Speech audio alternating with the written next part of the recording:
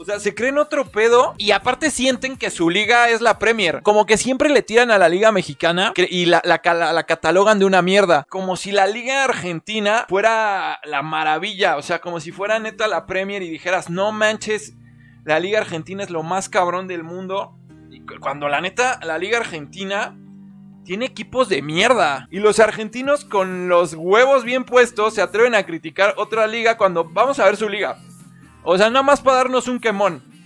Eh, en su liga hay 1, 2, 3, 4, 5, 6, 7, 8, 9, 10, 11, 12, ¿qué? ¿Cuánto? ¿28 equipos? ¿28 equipos en una liga de primera división? Pues ¿cómo se juega esto? ¿A qué juegan? ¿Cuál es la trascendencia? A ver, Aldo Civi. Aldo Civi es el equipo que dirige Martín Palermo y en el que juega un jugador que rompió la liga mexicana en cachitos. Lo recordaremos muy bien, su nombre Martín Cauterucho. Bueno, pues esa es una de las figuras de Aldo Civi. Eh, Argentinos Juniors, que pues Argentinos Juniors se le conoce por haber sido la cuna de Diego, de Diego Armando Maradona.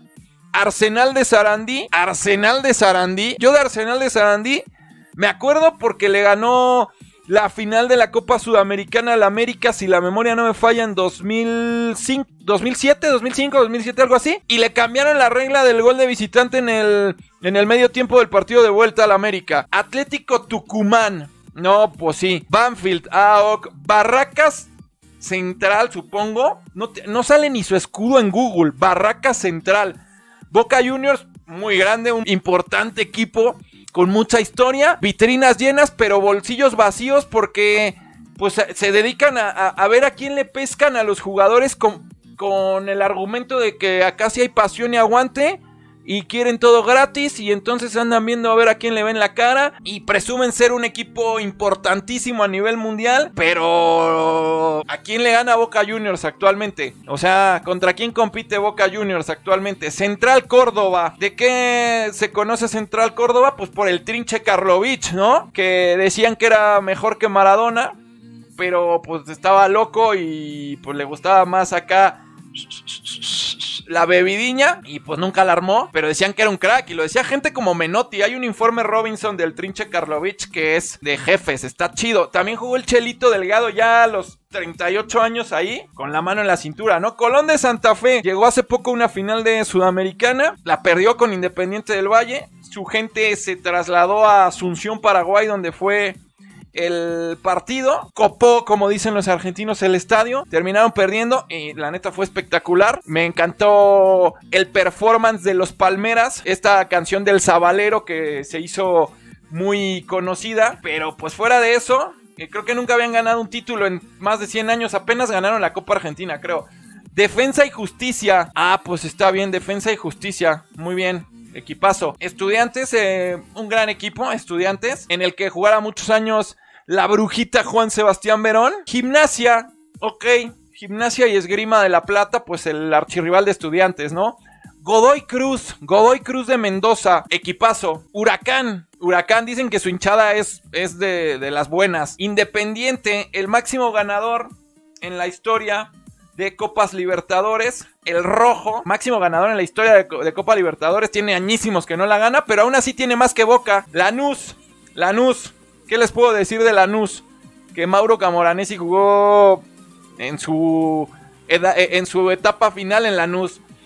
Newell's, Newell's, el equipo en el que se formó el mejor de todos los tiempos, el mejor de la historia, el mejor argentino de todos, mejor que Maradona, Leonel Andrés Messi Cuchitini, patronato, equipazo, patronato. Platense ni, ni se diga.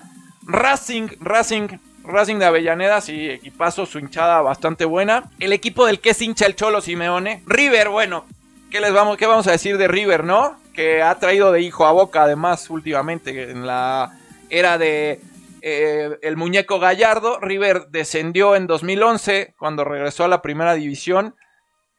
Eh, hizo una época gloriosa. Además de todo, eh, le ganó la única final de Copa Libertadores que han disputado eh, Boca y River, pues se la llevó River. Y además, recordemos que esa final se tuvo que jugar en el Santiago Bernabéu de Madrid, porque los argentinos se comportaron como unos cavernícolas y no se pudo jugar en, en su propio país. Esa fue nota a nivel mundial y yo creo que es la nota por la que más se ha hablado del fútbol argentino en los últimos no sé cuántos años. Es de lo que más ha hablado. Y después me que se jugó en el Bernabéu la final y los españoles estaban anonadados de lo malos que eran y del mal nivel que se vio en el Santiago Bernabéu. Porque sí, se nos vende mucho la pasión y el aguante y eso maquilla el nivel real del fútbol argentino. Rosario Central, el archirrival de Newell's en la ciudad de Rosario, el equipo del Chelito Delgado, por supuesto, eh, Rosario Central, al que el azul le pasó por encima a, estos dos que están juntos, River y Rosario Central, el azul se los chispó en la Libertadores 2001. San Lorenzo, uno de mis equipos favoritos de Argentina, por el hecho de que compartimos Mundial de Clubes con, con ellos en el 2014 y conocí mucha banda eh, de San Lorenzo en Marruecos, que eran a todísima madre y pasé unos días espectaculares con ellos. Y bueno, tienen, sus cánticos son de los más originales del mundo. Después los de Boca, pues se los copian.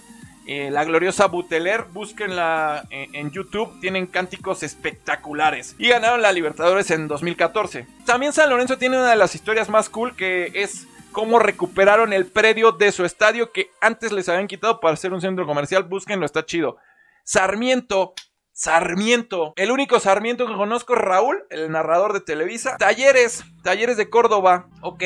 Tigre, ¿qué tiene de especial Tigre? Que el, escudo de Tigre es como el de los Tigres de aquí. Fuera de eso, no tengo idea de qué ha hecho Tigre en el fútbol.